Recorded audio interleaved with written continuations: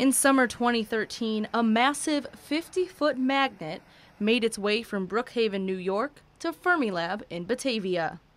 The five day and 3,200 mile journey was just the first step in the Muon G 2 experiment. One year later, the Muon G 2 moved into its new home, a building perfectly outfitted to house the magnet.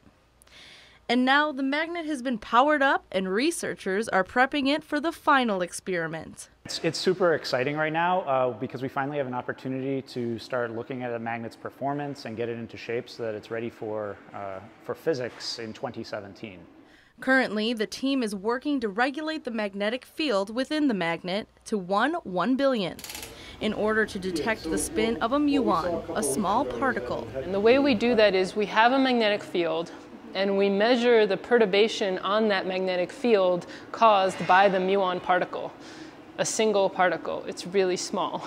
It's a really, really, really small perturbation. Mm-hmm. Um, and so you need to know the field that precisely in order to see what the particle does to the field. This testing will lead up to the main purpose of moving the magnet, discovering new particles in the universe. And we're trying to get a basic understanding of the building blocks of nature. We have lots of hints that there should be other particles out there that we haven't seen yet, and now we're looking here to see if we can see them here.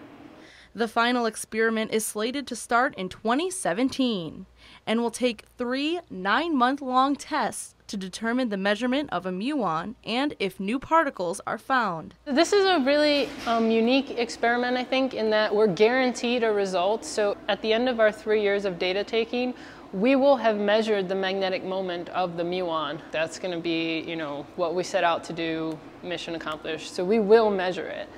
The more exciting thing is that if that number is different from what the theorists tell us it should be, then there's something really interesting in the physics going on.